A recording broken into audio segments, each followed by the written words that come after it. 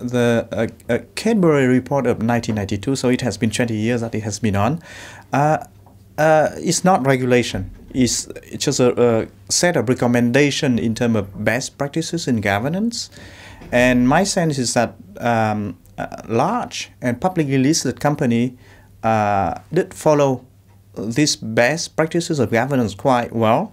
So one of the things that we remark is that now the majority of the board of directors uh, among large British companies um, are, are, dominated by um, by by uh, outside directors, and all the majors, all the major committees uh, within the board are chaired by outside and independent directors. So on the paper, uh, it seems that the course of best practices in, in corporate governance. The, the Cadbury, the so-called Cadbury of 1992, has been quite well followed by large company in the UK.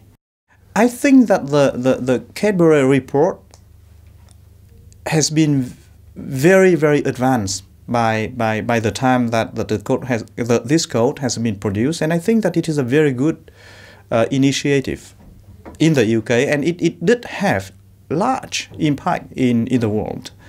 But facts are that scandals didn't happen, and I think that there, there, there must have been some problems going on that we, we might just uh, miss out. And so uh, what we did is just to look at one of the aspects which is very prevalent in the UK and in other countries, which is the social connection in the boardroom. To put it more precisely, the, the social ties between the CEO and independent directors in the same boardroom. And we did find that this is one of the factors that might prevent the board to work effectively. When you look at board of directors, it seems that, you know, you see the same faces everywhere. And it seems that, you know, the CEO and directors know each other very well. And socially, they are very connected. They can be graduates from the same very famous school they can play golf together every weekend, or they can belong and work for the same charity in the same city and in the same section. So that's why when you look at the uh, a typical board of directors of a large company, you have the impression that oh, it is a kind of a small world that happened here. That that that's the sense of our our our research, and we we basically uh, study whether this fact that the CEO and directors know each other very well and in most of cases, they are socially connected. Remember, those independent, those directors are independent financially, but socially they are not. We, our point is to study whether these informal connections impact the good governance of large corporations.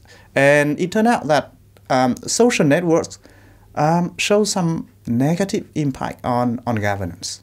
So for example, uh, a connected, a socially connected CEO is less likely to be fired uh, after poor performance. That means that connected board let the CEO, let a bad CEO to stay longer than it should, for example, and uh, seem that connected CEOs are not as severely punished for their poor performance as uh, other people. Non-connected CEOs, for example, it would be significantly three times easier for a connected CEO to find a new and even better job after being fired in a company.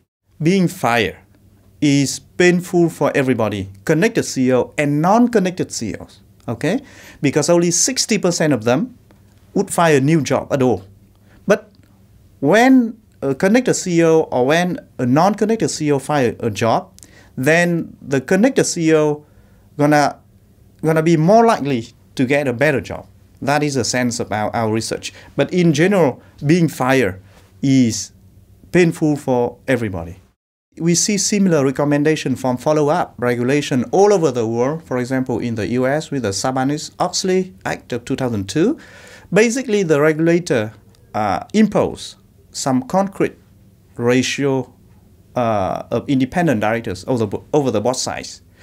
Um, our point is that by imposing such a ratio, maybe regulation will not be effective if, if we know about how uh, the board of directors work socially. So the point is not to impose more and more regulations. But the point is maybe to make the board work more transparently and make to give shareholders more say in the hiring and firing decision of directors, and maybe, at last but not least, to put more effort to make the the the, the market, the, the product market competition um, uh, work, work better. Because I believe that you know a better competition in the product market will force all the company to behave better in terms of uh, corporate governance.